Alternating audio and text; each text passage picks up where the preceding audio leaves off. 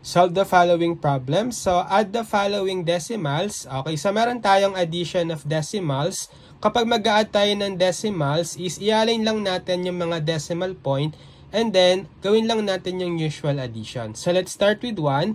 So, sulat muna natin yung mga given, 23.52, then plus 1.379, then plus 0.1256. So, dapat naka-align yung mga decimal point. So, add natin. Okay? And then, lagyan lang natin ng mga placeholder na 0 yung walang katapat. Okay? So, di tayo mag-start mag-add sa dulo. So, 0 plus 0 plus 6, it's 6.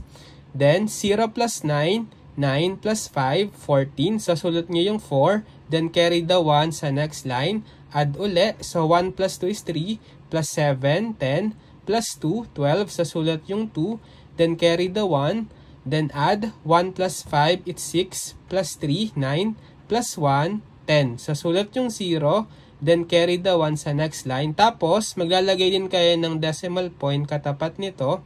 So, add nyo naman to. 1 plus 3, 4 plus 1, 5 plus 0, still 5. Then bring down nyo lang tong 2. So final answer will be 25.0246. Next, number 2. So sulat natin yung given. 143.07. Then we have 25. Then 3.9. Then 0.384. And then 67.8971. Okay, so lagyan natin ng mga placeholder na 0, 0, 0. Then itong 25, 0, 0, 0, 0, 0, 0, 0. Okay? Then add natin. So let's start sa dulo. 0 plus 0 plus 0 plus 0 plus 1, still 1. 0 plus 0 plus 0 plus 4 plus 7, 11. So write 1, then carry the 1 sa next line. Then 1 plus 7 is 8. Then, add 8, 16, plus 9, 25. So, write 5, carry the 2 sa next line, add uli. 2 plus 9, 11, plus 3, 14, plus 8, 22. Write 2, carry the 2 sa next line. Then, lagyan nyo din ng decimal point katapat nito. So, add naman natin tong ones digit. So, 2 plus 3 is 5, plus 5, 10, plus 3, 13, plus 7, 20. So, write 0, carry the 2 sa next line, then add 2 plus 4 is 6, plus 2, 8, then plus 6, 14. So, write 4, carry the 1, then finally 1 plus 1 is 2. So, bring down 2 here. So, therefore, the final answer is 240.2511. Next, for number 3, sa sulat natin, 576.3 plus 11.78 plus 24.367 then plus 37.1234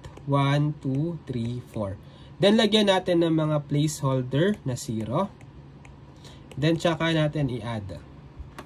Okay, let's start sa dulo. So 0 plus 0 plus 0 plus 4 4 then 0 0 so 7 plus 3 it's 10 write 0 and then carry the 1 sa next line, then add. Then 1 plus 8 is 9, plus 6, 15, plus 2, 17. Write 7, carry the 1.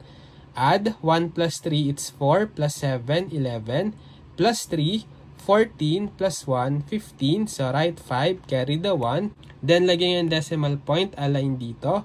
Then, add the next line, 1 plus 6, it's 7, plus 1, 8, plus 4, 12, plus 7, 19. Write 9, carry the 1, then add 1 plus 7, 8, plus 1, 9, plus 2, 11, plus 3, 14. So, write 4, carry the 1. So, finally, 1 plus 5 is 6. Then, bring down nyo na lang. We have the final answer is 649.5704. Okay, now it's your turn. So, tayo namang sagutan itong problems and just comment your answers.